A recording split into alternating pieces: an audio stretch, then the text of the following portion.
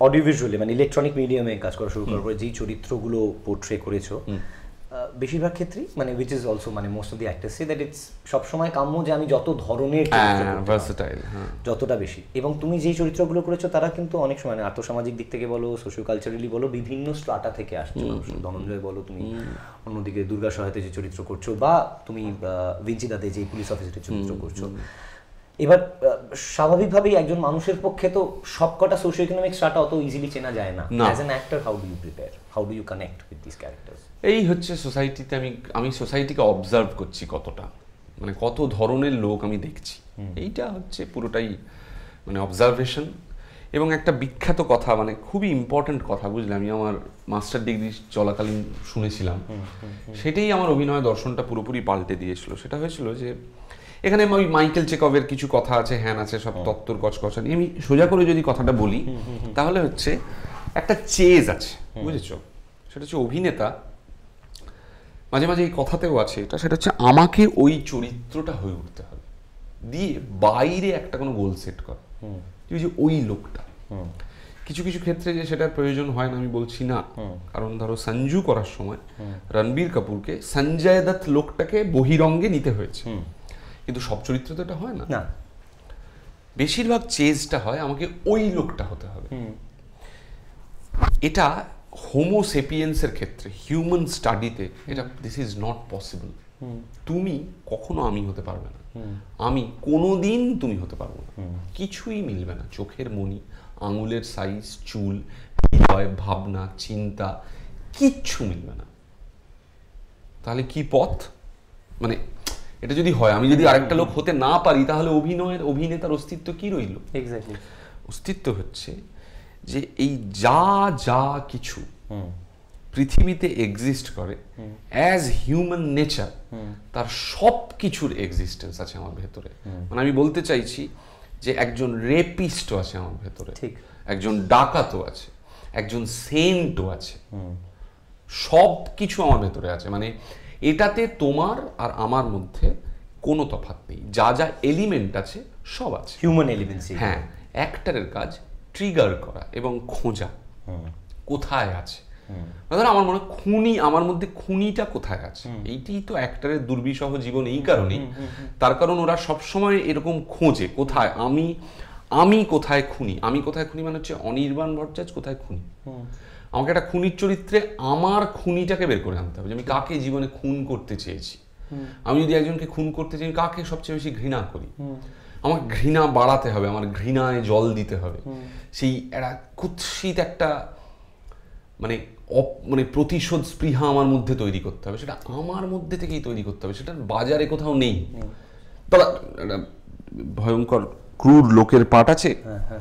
দুশো প্রতিশোধ দিন ওরকম করে তো হয় না। ওটা আমাকে মানে আমার ভেতর থেকে তৈরি করতে হবে। এবং একবার বের করা শুরু করতে থাকলে তুমি বুঝতে পারবে যে তোমার ভেতরেই সব এটা কোনো কোল্যাটারাল নেই। মানে ধরো ওয়াগনার মোরা নার্কস করার পরে বলেছিলেন যে মানে পাবলো এসকোবার এমন ডার্ক একজন চরিত্র লোকের জীবন নষ্ট হয়ে গেছে। একটা লোক ছিল গ্রোতোভস্কি বলে ইয়েরজি গ্রোতোভস্কি পোল্যান্ডে অভিনয় করতেন। তারা এরকম সেলফ নিয়ে কাজ করা শুরু করেছিলেন যদিও ন্যাচারালিস্টিক সিনেমাতে নয় তারা এক্সপেরিমেন্টাল থিয়েটার করতেন অন্য ধরনের থিয়েটার করতেন। তারা এই সেলফ নিয়ে কাজ করা শুরু করেছিলেন বডি নিয়ে কাজ করা শুরু করেছিলেন সোল নিয়ে। মানে তোমার যা আছে ওই পুয়ার থিয়েটার বলা হয় বেশিরভাগ লোক মনে করে ওটা গরিব লোকের থিয়েটার বলে পুয়ার থিয়েটার একেবারেই তা নয়। পুয়োর অর্থে বলা হয় যে তোমার আর কোনো মানে আভরণ নেই জাস্ট তোমার এইটুকুই আছে। সেই অর্থে তুমি দরিদ্র। এবং দারিদ্রই দারিদ্রতাই তোমার শক্তি।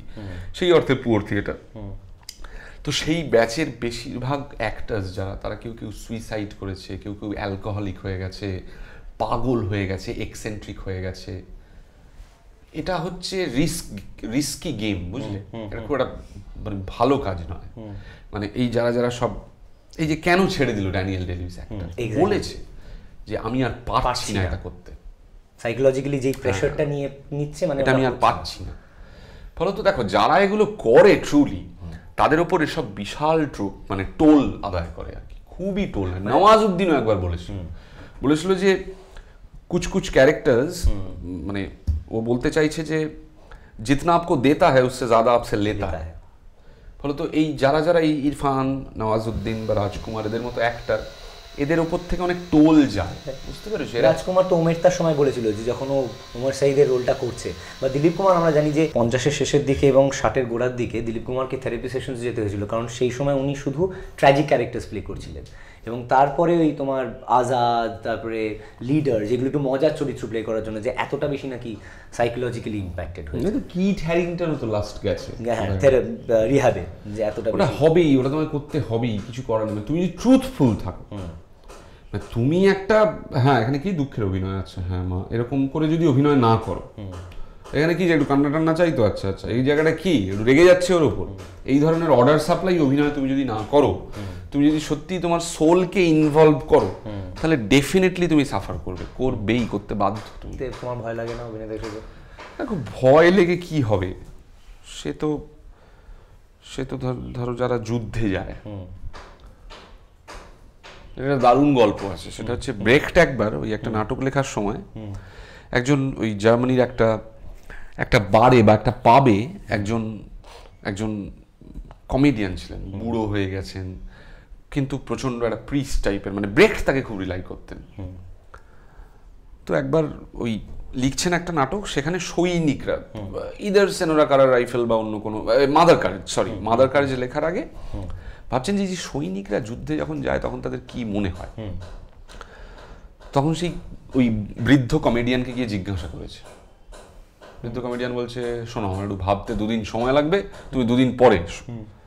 ঠিক আছে দুদিন পরে এসছে। বলছে কি হয়? সৈনিকদের যুদ্ধে যাওয়ার সময়। বলো ভয় করে। হ্যাঁ? তাহলে যুদ্ধে যায়? বলে হ্যাঁ। এই যত ওই জন্য ওরা অত হাউল করে। ওই জন্য ওদের বীরত্বটা অতটা এক্সপ্যান্ড ওই জন্য ওরা দাঁড়ায় খুব সোজা হয়ে। সবটাই হচ্ছে ওই ভয়টাকে ওভার পাওয়ার করার চেষ্টা। এই যে আমি যাচ্ছি ওয়ার ফ্রন্টে আমি গুলি খেয়ে আমি মরে যাব জাস্ট বাড়ি ফেরা হবে না। এই যে ভয় প্রাণের ভয় সেটাকে এরকম চেপে নিচের দিকে পাঠিয়ে ওই ওই বুকটা টান টান হয়ে যায় ইয়েস স্যার ওরকম করে কথা বলে। সবটাই হচ্ছে ভেতরের একটা ভয় থেকে ওটা ওয়ার ফ্রন্টের কথা বলছি। এটা বেরিয়ে আসে।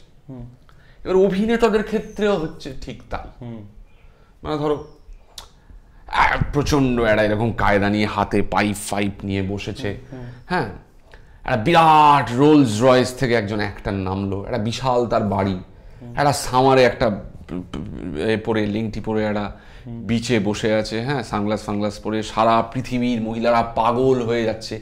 এই যে এই এই যে এই যে লাইফ এই যে এই যে ক্যাসানোভা কিংবা এই যে প্রচণ্ড কায়দা সব হচ্ছে ওই যে ভেতরেও ক্ষয়ে যাচ্ছে সেটাকে ঢাকা দেওয়ার জন্য। ঢাকা মানে সেটা তোমাকে তো কোনোভাবে তোমার লাইফটা এনজয় করতে হবে বাবা।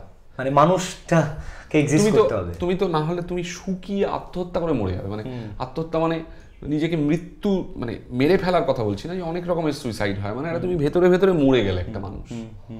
মানে এরকম আমি অভিনেতাদের জানি তাদের নাম হয়নি। They are very good actors তাদের সাংসারিক জীবন শুকিয়ে গেছে। Just because they are brilliant actors আমি এরকম অনেক অভিনেতাকে জানি অসম্ভব ভালো অ্যাক্টার চুপচাপ হয়ে গেছে কথা বলে না। কথা বলে না। আর দেখো আমাদের প্রদেশের অনেক সমস্যা আছে। আমাদের প্রদেশ রেয়ার ট্যালেন্টকে প্রায় গুরুত্ব দেয়নি। মানে হিস্ট্রি বলে দেয়নি। প্রায় দেয়নি। কোনোদিনই দেয়নি। পেন্টিংয়ে দেয়নি সিনেমার অভিনয়ে দেয়নি থিয়েটারে দেয়নি কবিতায় দেয়নি কাউকে দেয়নি। দুটো ক্ষেত্রে দিয়েছে। এক হচ্ছে বিদেশি যখন এসে পিঠ চাপড়েছে তখন দিয়েছে। আর যখন বুঝেছে যে না একে পাত্তা দিলে আমার পাত্তা পাওয়ার একটা চান্স আছে তখন দিয়েছে। এর বাইরে বাঙালি জনগণ ট্রু আর্টিস্টকে পাত্তা কখনো দেয়নি। আমাদের প্রদেশে ভয়ঙ্কর ভয়ঙ্কর ট্যালেন্টেড লোক মারা গেছে না খেয়ে। কামু মুখার্জি প্রচুর প্রচুর মানে প্রচুর লোক। অসংখ্য লোক মারা গেছে। মানে টাকা পয়সা না পেয়ে তো অনেকেই মারা গেছেন। এমনি ধরো টাকা পয়সা অনেকে পেয়েছেন কগনিশন একটা একটা একটা শিল্পীকে একটা জাতি সম্মান করবে। এই সম্মানের অভাবে প্রচুর লোক বহু কষ্টে দুঃখে মারা গেছে এই যে বলে না সব বাঙালির গর্ব এইসব। বাঙালির গর্ব করার মতো কিচ্ছু নেই। আপামর বাঙালি কোনোদিনই ট্রু ট্যালেন্টকে খুব একটা পাত্তা দেয়নি। তুমি একটু আগে অর্ডারই ওই অভিনেতার কথা বলছিলে যে আচ্ছা কাঁদতে হবে দুঃখ করে? স্যানিসলফ কি বলেছেন যে ক্লিশে অ্যাভয়েড করার উপরে নির্ভর করে একজন অভিনেতার ক্রিয়েটিভিটি কতটা। তো তোমার নিজের ক্ষেত্রে তুমি ক্লিশে অ্যাভয়েড করার জন্য কি করো? ইন্টারপ্রিটেশন মূল জিনিস। সেটা হচ্ছে ইন্টারপ্রিটেশন হচ্ছে the intellectual part of acting আর তুমি যেটা ডেলিভার করবে সেটা হচ্ছে একটা ইনস্টিংটিভ বা অর্গানিক পার্ট অফ অ্যাক্টিং যেটা ওই খুব ট্রুথফুল হতে হয়। মানে তুমি ঠিক সেই মুহূর্তে যা করছ সেটাকে ট্রুথফুল হতে গেলে তো তোমাকে অর্গানিক্যালি একটা জিনিস করতে হবে। তার আগে একটা পার্ট থাকে সেটা হচ্ছে ইন্টারপ্রিটেশন তুমি কীভাবে চরিত্রায়িত করছ দ্যাট ইজ ইন্টেলেকচুয়াল পার্ট সেটা তোমার বুদ্ধি করে তৈরি করা। ওটা ক্লিশে অ্যাভয়েড করতে হয় ওটা দিয়ে ক্লিশে অ্যাভয়েড করতে হয়। আমি তোমাকে দুটো ইনস্টেন্সের কথা জিজ্ঞেস করব একটা তোমার নাটকের অভিনয়ের ক্ষেত্রে আর একটা তোমার একটি সিনেমার অভিনয়ের ক্ষেত্রে। যে তোমার প্রসেসটা প্রেপের জন্য। একটা হচ্ছে এফ এম মহানগরের কথা তুলবো তুমি পুরো গোটা নাটকটা জুড়ে একটা হিপ ফ্লাস্ক থেকে অল্প অল্প করে অ্যালকোহল কনজিউম করছ। হ্যাঁ, হ্যাঁ। গোটা নাটকটা যদি খুব মন দিয়ে দেখা যায় তাহলে আস্তে আস্তে আস্তে আস্তে বোঝা যাচ্ছে একটা হালকা নেশা আসছে। কোনোভাবে সাংঘাতিক যে চোখে আঙুল দিয়ে দেখা। খুব অল্প অল্প অল্প অল্প অল্প অল্প করে। এইটা একটা। এক্সাম্পল আরেকটা হচ্ছে ভিঞ্চিদাতে রিসেন্টলি তোমার কলিগকে জুনিয়র কলিগকে তুমি ঘরে যাচ্ছ যখন এবং তার মোবাইলে তার বন্ধু একটা অশ্লীল ভিডিও পাঠিয়েছে। তুমি যখন চলে যেতে বলছো সেই সময়টা rather than doing something very dramatic এই যে তোমার চরিত্রটাও না কোথাও একটা ইম্প্যাক্টেড হয়েছে ভিডিওটা দেখে এবং তুমি মানে বিতৃষ্ণা ভরে গেছো যে এটা কি করে সার্কুলেট হচ্ছে এই মাইনিউট ডিটেলিং এর জন্য প্রিপেয়ার করার জন্য what is your process how do you approach দেখো এটা থিয়েটারটার ক্ষেত্রে বলতে পারি যে ওটা তৈরি হয়েছে। এফ এম মহানগরের ষাটখানা মতো রিহার্সাল হয়েছিল সিক্সটিজ তো ওটা রিহার্সালে তৈরি হয়েছে আর সিনেমাতে তো এরকম রিহার্সাল হয় না। ফলত ওটা হচ্ছে ডিসিশন মানে ধরো আচ্ছা এইটা হচ্ছে ডায়ালগ এটা কীভাবে বলা কত রকম ভাবে বলা যায়। চিৎকার চেঁচামেচি করে বলা যায়। উঠে দাঁড়িয়ে কলার ফলার ধরে বলা যায়। শান্ত হয়ে দুঃখ হয়ে। আমাদের কলেজে একটা খুব ইন্টারেস্টিং প্র্যাকটিস ছিল সেটা নিয়ে আমরা বেশি মজাই করতাম। সেটা হচ্ছে এই একটা সংলাপকে নটা রসে বলো। তুমি কেন আমার কাছ থেকে দূরে দূরে থাকো? এবার এক একটা ওয়ার্ডে অ্যাকসেন্ট দিয়ে দিয়ে বলা আর এক একটা ইমোশনে বলা। মানে তুমি কেন আমার কাছ থেকে দূরে দূরে থাকো? তুমি কেন আমার কাছ থেকে দূরে দূরে থাকো? তুমি কেন আমার কাছ থেকে দূরে দূরে থাকো? তুমি কেন আমার কাছ থেকে দূরে দূরে থাকো? তুমি কেন আমার কাজ থেকে দূরে দূরে থাকো? তুমি কেন আমার কাছ থেকে দূরে দূরে থাকো? তুমি কেন আমার কাছ থেকে দূরে দূরে থাকো? প্রচণ্ড কমিক্যাল একটা প্র্যাকটিস হ্যাঁ? আর একটা হচ্ছে এই নটা রসে বলা আর কি মানে ইমোশন করে তো সেটা কাজে দেয় ভবিষ্যতে কাজে দেয়। তখন আমরা ডিসাইড করি যে তুমি ইন্টারেস্টিং কথাটা বললে যে ক্লিশে অ্যাভয়েড করার ক্ষেত্রে। প্রথম ক্ষেত্রেই তোমায় ভাবতে হবে যে কি করে আমি ক্লিশেটা অ্যাভয়েড করব? মানে রেগে গিয়ে একটা লোককে বলছো তুমি এখান থেকে বেরিয়ে যাও। এবার সেটা তুমি কতটা অন্য রকম করে বলতে পারবে বাট মিনিংটা একই থাকবে যে তুমি রেগে গেছো এবং বলবে। এবং রিয়েল থাকবে এবং রিয়েল থাকবে বিশ্বাসযোগ্য হবে ট্রুথফুল হবে। আমি বলব এটা ডিসিশন ফিল্মের ক্ষেত্রে এটা ডিসিশন থিয়েটারে যেরকম উঠে আসে ইভলভ করে। মানে একটা ডেলিভারি ট্রুথফুলি বেরিয়ে এলো এবার সেই ট্রুথটা তোমাকে ফলো করতে হবে। Through rehearsals other rehearsals shows আর সিনেমাতে তো বারবার করতে হয় না। সিনেমাতে তোমাকে ডিসিশন নিতে হবে কীভাবে নেব? মানে আমার অ্যাটিটিউডটা কি হবে? অ্যাপ্রোচটা কি হবে এই ডায়ালগটার ক্ষেত্রে? ধরো একজন তোমাকে বলল জল খাবে? তুমি বললে না। এবার এটা তোমাকে ডিসাইড করতে হবে না তুমি কীভাবে বলবে? হ্যাঁ ওই যে ওই যে ওই সিনটা তোমাদের মনে আছে যে ওটা হচ্ছে কোষ্টি পাথর এই তুমি যে প্রশ্নটা করেছ সেইটা। তোমরা ওই দিবাকর ব্যানার্জির পটলবাবু ফিল্ম স্টারটা দেখেছিলে হ্যাঁ। সেখানে যখন সদাশিব ওই ডাস্টবিন থেকে উঠল। এবং নওয়াজুদ্দিন বলছে যার আমাকে একটা সংলাপ দিয়েছে তাদের আসলে এ লেখা আছে। তখন বলে না যে তুই এটা কীভাবে বলবি? এ? কীভাবে বল? ওইটা হচ্ছে অ্যাক্টার্স ট্রেনিং যে তোমাকে ডিসাইড করতে হবে যে তুমি ওই নাটা কীভাবে বলবে। সেটা হচ্ছে ডিসিশন সেখান থেকে এই সব জিনিসগুলো আসে আর কি। তোমার কখনো এরকম হয়েছে যে পরিচালক এবং তোমার আইডিয়া অফ আ ক্যারেক্টার একটু ডিফার করছে। একটু কেন? পুরোপুরি ডিফার করে গেছে এরকম হয়েছে। সেক্ষেত্রে ফাইনালি কোনটা পড়ছে? ডেফিনেটলি ডিরেক্টরের ডেফিনেটলি ফাইনাল কল ফিল্মের ক্ষেত্রে ডেফিনেটলি ডিরেক্টরের ফাইনাল কল কোনো সন্দেহ নেই। কারণ director is the main master ও জানে ডিরেক্টর পুরোটা জানে ও দেখতে পায়। ও নিজের মাথায় ছবিটা আগে বানিয়েছে আমি বানাইনি আমি শুধু আমার চরিত্রটা দেখেছি। ডেফিনেটলি তখন আমি চেষ্টা করি মানে ওইটাকে কতটা মানে ওই ওই আইডিয়াটাকে কতটা কনস্ট্রাক্ট করা যায় আর কি। ডেফিনেটলি ডিরেক্টরের কল আচ্ছা এই ক্ষেত্রে এই যে ধরো অভিনেতা শুধু তার নিজের চরিত্রটাকে দেখছে আমি খুব মানে ক্যাটেগরিক্যালি আমাদের বাংলা ইন্ডাস্ট্রির কথা এই মুহূর্তে বলছি না because it is not in the best of phases yes yes তাছাড়া তোমার কাছে ধরো একটা গল্প স্ক্রিপ্ট আসলো তুমি দেখলে তোমার চরিত্রটা মানে ফাটি দেওয়ার জায়গা আছে তুমি এনজয় করবে। কিন্তু গল্পটা খুব একটা দাঁড়াচ্ছে না। Would you still say yes হ্যাঁ বলবে দেখো এইসব সিচুয়েশন আমার জীবনে খুব একটা আসেনি মানে গল্পটা ভালো নয় চরিত্রটা ভালো হ্যাঁ তবে আমি জীবনে দু একবার এরকম করেছি। গল্প ভালো নয় মেকিং প্ল্যানিংসও ভালো নয় কিন্তু চরিত্র ভালো ছিল বলে হ্যাঁ করে দিয়েছি ওই লোভ থেকে করেছি আর কি। তবে সিনেমাতে ওটা করে বুঝেছি সিনেমাতে ওটা করে লাভ হয় না। কারণ সিনেমা এমন একটা ফরম্যাট সেক্ষেত্রে সিনেমাটা ভালো হতে হয়।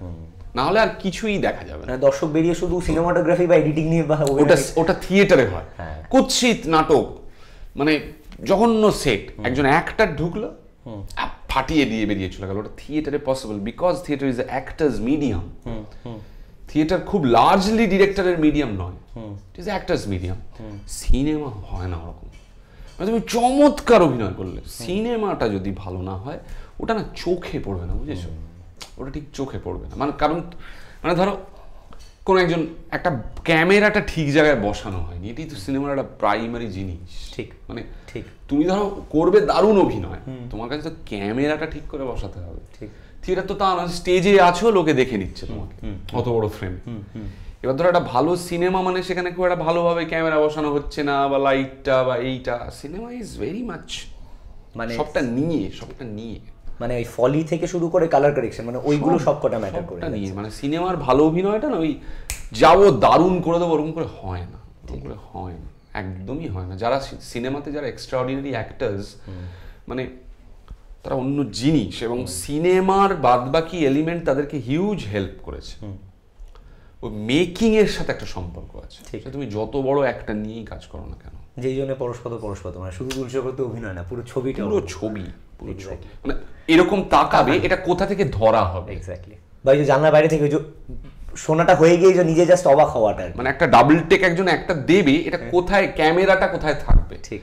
এটা ভীষণ ডিরেক্টরস মিডিয়া ভীষণ। ঠিক ঠিক এক্সট্রাঅর্ডিনারি অ্যাক্টার সিনেমাতে তোমাকে যারা সাংঘাতিক মানে এরকমভাবে আমি জানি কোটি কোটি নাম মনে পড়বে কিন্তু তোমার ক্ষেত্রে আর কি যারা তোমাকে সাংঘাতিক রকম ইন্সপায়ার করেছে বা যাদের থেকে তুমি you take a leaf out প্রচুর সত্যি প্রচুর অ্যাক্টার্স প্রচুর অ্যাক্টার্স অ্যাকচুয়ালি আমার একটা ব্যাপার আছে আমার ভালো অভিনেতা দেখলেই ইভেন আমার জেনারেশনের আমার পরের জেনারেশনের বৃদ্ধ বিদেশ স্বদেশ সব জায়গায় আমি যাকেই মানে আমার ভালো লাগে মানে আমার সেই প্রায় গুরু গোছের হয়ে গেল। বুঝতে? যাকেই। মানে ধরো ওয়াগনার মৌরা গুরু হয়ে গেল আমার। ফ্যান্টাস্টিক মানে জাস্ট ভাবা যায় না। হ্যাঁ। বা ধরো মানে ওই অ্যালফি অ্যালেন আমার গুরু হয়ে গেল যে আমাদের জিওটিতে এ করল। গ্রেজয় গ্রেজয়। হ্যাঁ, গুরু হয়ে যাকে ভালো লাগছে সে গুরু হয়ে যাচ্ছে। পিটার ডিঙ্কলিস তো। পিটার ডিঙ্কলেজ ডেফিনেটলি এরা সব গুরু হয়ে যাচ্ছে। ঠিক। মানে আমার যাকেই তবে তবে ওরকম স্থির কিছু নেই। বাংলায় যদি মানে ধরো জবে থেকে বাংলা ছবি হচ্ছে আর কি তোমাকে তিনজনের যদি র্যান্ডমলি মানে এই মুহূর্তের জন্য হয়তো সেটা চেঞ্জ করতেও পারে আরও বাড়বে তালিকা। যদি ওরকম ভাবে বলতে বলা হয় মানে এই সময়ের অ্যাক্টার্স না এই সময়ের হতে পারে আগের লেজেন্ডারি যারা অলরেডি অ্যাকচুয়ালি প্রচুর প্রচুর। মানে কার নাম মানে তিনটে তিনজনের নাম বললে তো বাকি জনের নাম। না, একেবারেই আসলে তাই। অশ্রদ্ধা অসম্মান হয়ে যাবে। মানে এটা খুব ডিফিকাল্ট একটা সিনারি দেখো আমাদের যে যেটাকে স্বর্ণযুগ বাংলা সিনেমা বলা হয় যখন উত্তম কুমার নায়ক যখন যে সময় সে সময় তুমি কাউকে ফেলতে পারবে না বা ধরো উত্তম বাবু ওরকম অভিনেতা ওরকম দেখতে ওরকম তার মানে সোয়াগ যেটাকে এখন বলা হয় সব কিছু পাহাড়ি সান্নাল রবি ঘোষ তুলসী চক্রবর্তী জহর রায় সত্যিই কাকে ফেলা যায় একেবারেই ওটা পসিবল নয় মানে ওটা ওটা না করাটাই একটা ইম্পসিবিলিটি আর কি মিল্কি ওয়েভ জানো তো মিল্কি ওয়ে থাকে ওটা হচ্ছে মিল্কি ওয়ে ঠিক তাই অসংখ্য তারা এবং প্রত্যেকটাই মানে বড় বড় নক্ষত্র ওটা একটা সময় আসে একটা সময় আসে একটা সময় চলে যায়। কাউকে দোষ দিয়ে লাভ নেই। কোনো একটা রিসেন্ট সময় বা হ্যাঁ রিসেন্ট সময় বলে তো বাংলা ছবি এবং বাংলা ছবি ছাড়া অন্য ভাষার ছবি। যেই ছবিটা দেখে কোনো চরিত্র দেখে মনে হচ্ছে ইস এটা যদি আমি করতে পারতাম। অনেক সব ছবি দেখেই প্রায় মনে হয়। রিসেন্ট টাইমসে দাগ কেটেছে মানে যেটা অপূর্ব চরিত্র হচ্ছে এর চরিত্রটা। ময়ূরাক্ষীতে বুম্বাদার চরিত্রটা। ট্রিমেন্ডাস চরিত্র। সত্যি তাই। হ্যাঁ, বুম্বাদা করেওছেন দারুণ একদম। দারুণ করেছেন দারুণ করেছেন। খুব রিস্ট্রেইনড একটা সাংঘাতিক। আর লেখা মানে আছো। তুলনা হয় না ওরকম একটা লেখা লেখা চরিত্র। দুটোই মানে বাবার চরিত্র ছেলের চরিত্র। কারণ অ্যালজাইমাসের সময় ওভারডু করার একটা প্রবণতা থাকে সেটা কোথাও নেই মানে জাস্ট চরিত্রটাতেই লেখা নেই। সৌমিত্রবাবু দেখো মানে মানে মাঝে মাঝে একটা পাঠ করেন একদম চমকে দেন মানে বসিয়ে রেখে দেন। লাস্ট ওই ডায়লগটা যে বলেন যে ওর জন্যে একটা জানলা এঁকে দিলাম। ওর মন খারাপ হলেও এখানে এসে বসবে। আমার কথা মনে পড়বে না? ওই কথাটা বলল লেন্সের দিকে তাকিয়ে। তোমরা এই আগের দিন করেছ ওই অতনুদার ইন্টারভিউ মাস্টার মাস্টার সত্যিই তাই। ও সত্যিই মানে আমি আমিও মুগ্ধ হয়ে গেছি। দেখে। যেটা প্রশ্ন সেটা হচ্ছে যে বাংলা ছাড়া অন্যান্য ভাষা হিন্দি ইংরেজি রিসেন্ট সেটা টিভি সিরিজ হতে পারে সিনেমা হতে পারে কোন একটা চরিত্র দেখে মনে হলো যে এটা মানে জাস্ট মনে হলো সঙ্গে সঙ্গে আর কি রিসেন্ট কাজের মধ্যে যেগুলো দেখেছ। যে চরিত্রটা দেখে মনে হলো সেই চরিত্রটার বয়স হয়নি আমার এখনও। কিন্তু মনে হলো আহ এই রোলটা যদি পেতাম। সেটা হচ্ছে যে চেরনোবিলে জ্যারেড হ্যারিস যে রোলটা করলেন লেগাস অফের চরিত্র সেটা দেখে প্রচণ্ড মনে হলো আহ ওয়ার ক্যারেক্টার মানে লাস্ট এটাই মনে হয়েছে হ্যাঁ। অনেক চরিত্র দেখেই মনে হয়। তবে আবার যারা করেন মানে যে চরিত্রটা দেখে লোভ হয় কেন লোভ হয়? কারণ সেই অভিনেতারা দুরন্ত ভালো করেন। মানে ওটাই পারফেক্ট। একদম। আফসোস নেই কোনো। না। তুমি যেরকম সুপ্রতিষ্ঠিত ডিরেক্টরদের সঙ্গে কাজ করেছ সেরকম ভাবে নতুনদের সঙ্গেও কাজ করেছ তো তোমার when you say yes to a project বা script what do you look in মানে look for in a director একজন পরিচালকের মধ্যে কি খোঁজো তুমি? পরিচালকের মধ্যে প্রাইমারিলি কিছু খুঁজি না। প্রথম কথা সুপ্রতিষ্ঠিত যারা তাদের মধ্যে তো খোঁজার কিছু নেই। বরঞ্চ নতুন যারা আছে মানে যেমন ধরো সায়ন্তন বা অর্ঘদীপ বা আমি যখন এদের সঙ্গে অভিজিতের সঙ্গে রিসেন্টলি মানভঞ্জনে কাজ করলাম তখন আমি ডেফিনেটলি একটা বোঝার চেষ্টা করি। অ্যাকচুয়ালি এই কথাটা বললেই না মনে হয় যে যেন I am in a superior position ব্যাপারটা তা নয়। কলিগ বা কমরেড হিসেবেই বোঝার চেষ্টা করি যে ওর স্পিরিটটা কী বা ও কী আমার কাছ থেকে ডিমান্ড করছে বা কীভাবে ও গোটা জিনিসটা দেখছে। প্রতিষ্ঠিতদের ক্ষেত্রে সেইটা ব্যাপার থাকে না। আমি মূলত স্ক্রিপ্টটা এবং তুমি যেটা বললেও ইন্টারভিউতে আগে এখনও পর্যন্ত আমি গুরুত্ব দিয়ে যাচ্ছি যে ওই আগেরটার থেকে মানে জাস্ট লাস্ট কাজটার থেকে এটা কতটা আলাদা। ঠিক। মানে কত রকম চরিত্রে আমি অভিনয় করতে পারব। ঠিক। এটা। যেটা থিয়েটারে করেছ ডিরেক্ট করেছ ইলেকট্রনিক মিডিয়ামে বা সিনেমার ক্ষেত্রে ডিরেক্ট করার ইচ্ছে রাখো? দেখো ইচ্ছে যে খুব একটা আছে তা মানে কোনোদিন ভবিষ্যতে ধরো এমন একটা গল্প মানে যে এই কারণেই বলছি যে আমি যেহেতু থিয়েটার ডিরেকশনটা আমার হচ্ছে তা আমার কাছে মোস্ট ডিজায়ারেবল একটা জব মানে আমি এই মুহূর্তে এখন একটা থিয়েটার ডিরেকশনের কাজ করছি। এর আগে আমি একটা বড় নাটক করেছি একটা ছোট নাটক করেছি। আবার এটা সেকেন্ড বড় নাটক করছি। তো আমার ধারণা আমি যদি জীবনের রেস্তোটা কোথাও থেকে অর্জন করে নিতে পারি তাহলে আমি একটা বয়সের পর থিয়েটার ডিরেকশনেই মনোনিবেশ করব। এবার তখন যদি গল্প একটা এরকম কিছু আমার মাথায় আসে বা পড়ি বা কোথাও থেকে জানি যেটা যেটা ফিল্মেই বলতে হবে থিয়েটারে বলা যায় না তখন করতে পারি সেটা গল্পের প্রয়োজনে। কিন্তু মানে ফিল্ম অ্যাজ আ ফরম্যাট আমাকে খুব একটা এক্সাইট করে না যতটা করে থিয়েটার। মানে সেটা কি পারফর্মার হিসেবে না ভিউয়ার হিসেবে নাকি দুটোই? ভিউয়ার হিসেবে করে মানে পারফর্মার হিসেবে মানে মানে ডিরেক্টর হিসেবে তুমি বলতে পারো। ডিরেক্টর হিসেবে ডিরেক্টর হিসেবে আমাকে অনেক বেশি এক্সাইট করে থিয়েটার মানে রাদার দ্যান সিনেমা সিনেমা নিয়ে আমি খুব খুব আগ্রহী নই বুঝতে পেরেছ? যারা ইয়াং অ্যাক্টার্স মানে অ্যাসপায়ারিং অ্যাক্টার্স একদম সবে সবে শুরু করেছে। যেরকম তুমি উচ্চ মাধ্যমিকের পরে এসে রবীন্দ্র ভারতীতে অভিনয় শেখা শুরু করলে পড়াশোনা শুরু করলে যারা এখন সেট আউট করবে বা যারা ইচ্ছে রাখে তাদের জন্য তোমার কিছু সাজেশন তোমার নিজের মতো করে। আমি একটাই কথা বলব, সেটা হচ্ছে যে প্রথম যে জিনিসটা বুঝতে হবে পার্টিকুলার এরা হ্যাজ গন একটা এরা চলে গেছে। সেটা কিসের এরা না, ওই স্টারের এরা বা একটা হয় না, একটা গ্ল্যামার জগতের একটা বিরাট বেলুন নাড়ানো, নাচ, গানা, তাম, ঝাম, বিশেষ করে যারা বাংলা ইন্ডাস্ট্রিতে এসে কাজ করার কথা ভাবছে, ওইটা চলে গেছে। এই এরাটা আমরা যেখানে কাজ করছি, সেটা অনেক মানে লেস ইলিউসিভ প্রথম যেটা করতে বলব আমি তো সবাইকে ইলিউশনগুলো সরিয়ে দাও এবং মূল করে গিয়ে হিট করো যে তোমার কাজ কি। এটা আমি আরও কয়েকটা জায়গায় বলেছি এটা খুব জ্ঞান মনে হতে পারে কিন্তু আমার বরাবর মনে হয়েছে যে চাষির সাথে রিলেট করতে হবে। যে চাষি ভোরবেলা উঠে মাটিতে যায় সে ফসল রোপণ করে প্রতিদিন সেটাকে নার্চার করে ফসল তোলে এই অভিনেতাকে এই চাষির মতো করে দেখতে হবে। মানে তুমি চারটে ছবিতে মোটামুটি ভালো অভিনয় করার পর জামা কেনো। স্যুট কেনো। আগে স্যুট জামা প্যান্ট কিনে নিও না। শুটের জন্য অভিনয়টা নয়। হ্যাঁ। তুমি আগে গিয়ে জ্যাক অ্যান্ড জোন্স থেকে একটা ভালো জিন্স কিনলাম কারণ আমাকে তো অভিনয় করতে হবে এটা না করে তুমি আগে প্লেট দেওয়া মফস্বলী প্যান্ট পরে আগে অভিনয়টা করো। সেই অভিনয় যদি অ্যাপ্রিসিয়েট করে কেউ তখন সেই টাকা দিয়ে গিয়ে জিন্স কেন। আমি যেটা বলতে চাইছি সেটা হচ্ছে আভরণ আয়োজন হ্যান ত্যান এইসব যুগ শেষ। তুমি রাস্তার ভাঁড়ের দোকানে চা খেতে খেতেও ভালো অ্যাক্টর হতে পারো। এটার সাথে কোনো সম্পর্ক নেই যে তুমি ক্লাসিক খাও না ফাইভ ফাইভ ফাইভ খাও না পতাকা বিড়ি খাও না কি এটার সাথে কোনো সম্পর্ক নেই। মানে কোকড়ানো চুলটার সাথে তবলা বাজাবার কোনো সম্পর্ক কোনো সম্পর্ক পাঞ্জাবির সাথে বেহালা বাজানোর কোনো সম্পর্ক নেই। হ্যাঁ। তোমাকে তোমাকে বুঝতে হবে যে তুমি তোমার কাজটা নিয়ে কতটা সিরিয়াস এবং সেটার পেছনে তুমি কতটা সময় দিচ্ছ। ঠিক। মানে ইভেনচুয়ালি ঠিক। সেটা আসল। বাদ বাকি জিনিসগুলো সব ওই আসবে যাবে কখনো কম আসবে কখনো বেশি আসবে চলতে থাকবে ফ্লাকচুয়েট করবে। কিন্তু মূল কোর জায়গাটা হচ্ছে যেটা সব সময় তুমি ইভেন ঘুমের মধ্যেও ধরে আছো সেটা হচ্ছে তোমার কাজের জায়গাটা কাজ। আমি একজন অভিনেতা আমাকে আমাকে এইটাতে ফোকাস ফোকাস ফোকাস শুটিংয়ে গিয়ে চা খাচ্ছ বিরিয়ানি খাচ্ছ এই খাচ্ছ সেখানে সব খাচ্ছ। ফাইনালি কাজ কি তোমার? ক্যামেরাটা রোল করলে সেখানে তোমাকে ডেলিভার করতে হবে যেটা তোমার নিশ্চয়ই ইচ্ছে থাকবে যে আমি একটা এমন কিছু ডেলিভার করব যেটা এক্সট্রাঅর্ডিনারি কিছু হবে। দশ বারের মধ্যে নবার হবে না কিন্তু একবার হবে।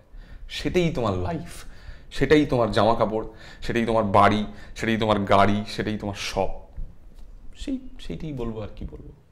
Anirban da pleasure talking to you thank you thank you তোমাকেও তোমাকেও থ্যাংক ইউ অনেক। সাইবার টকিজ কাজ শুরু করেছে চলচ্চিত্র নিয়ে শিল্পের আঙিনায় নতুন ভাবনা, চিন্তা নিয়ে তারা কাজ করতে চাইছে এবং নানান রকমের নতুন কথা তারা বলতে চাইছে এবং নতুনভাবে বলতে চাইছে, নতুন তথ্য আনতে চাইছে, নতুন স্বর আনতে চাইছে। তো সেগুলো শোনার জন্যে, জানার জন্যে সেগুলোর প্রতি আগ্রহ থাকলে আপনারা লাইক করুন কমেন্টস করুন এবং সাবস্ক্রাইব করুন সাইবার টকিজ